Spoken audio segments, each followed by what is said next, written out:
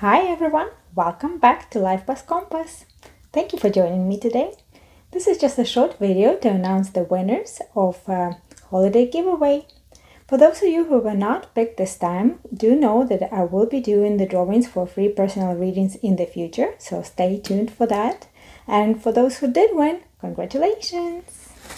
And the names are Brienne Lunt, Riva Thorne, and Al 1988.